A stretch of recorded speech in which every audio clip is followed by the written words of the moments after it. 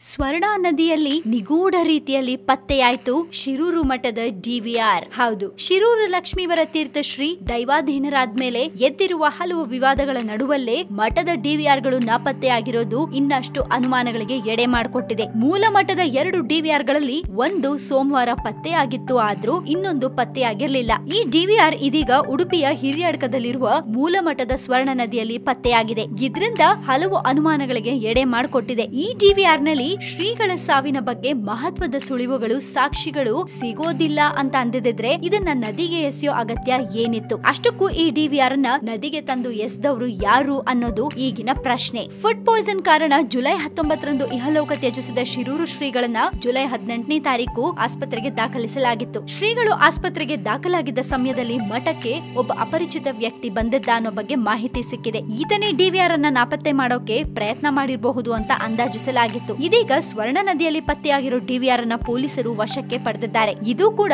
ಆ ಅಪರಿಚಿತನ ಕೈವಾಡಾನ ಅಂತ ಕೂಡ ಪೊಲೀಸರು ಶಂಕಿಸಿದ್ದಾರೆ. ಇದ್ರ ಬಗ್ಗೆ ಹೆಚ್ಚಿನ ತನಿಖೆ ನಡೀತಾ ಇದೆ. ತನಿಖೆ ನಂತರ ಇನ್ನಷ್ಟು ವಿಷಯಗಳು ಬಯಲಾಗತ್ತೆ.